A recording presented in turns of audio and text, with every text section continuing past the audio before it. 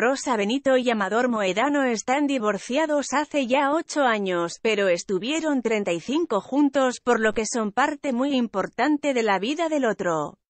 Hay momentos que no se pueden borrar y poder recordarlos con respeto y felicidad es algo muy positivo.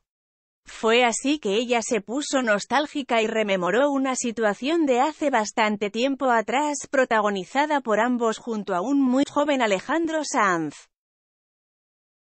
Me apetece subirla tal como es. Sin cortar, sin quitar.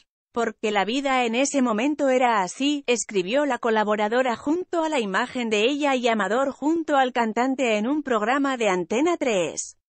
Se los ve a los tres muy jóvenes y felices. Ese mismo día compartió otra imagen, en la que se ve a Rocío Jurado junto a Moedano. Al pie de esa foto, decidió revelar cómo se encontró con estas postales llenas de historia. Hoy he tenido que buscar una cosa. He revuelto cajas y cajas y he visto tantas y tantas fotografías, qué bonito ver fotos en papel. He reenviado y capturado muchas de ellas, escribió Benito y continuó, Rocío de brazo de su hermano en la boda de Matilde Solís y Carlos Fitzjames Stuart.